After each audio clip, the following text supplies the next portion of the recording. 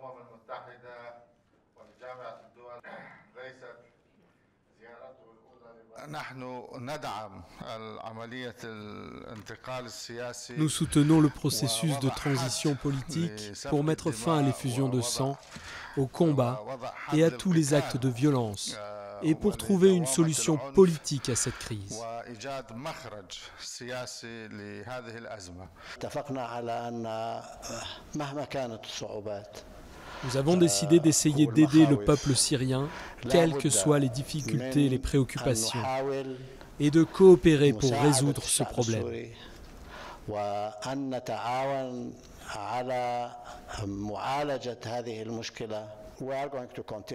Nous allons poursuivre notre collaboration et je serai en Syrie dans quelques jours. Et nous verrons ce que nous trouverons là-bas, non seulement du côté du gouvernement, mais aussi du côté de l'opposition à l'intérieur de la Syrie.